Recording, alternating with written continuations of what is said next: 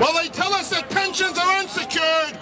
The banks, again, their loans are considered secure loans. The same banks that went into our communities and destroyed them with subprime mortgages, drove 200,000 people out of our, our homes, now get first lien and the city's tax dollars during bankruptcy.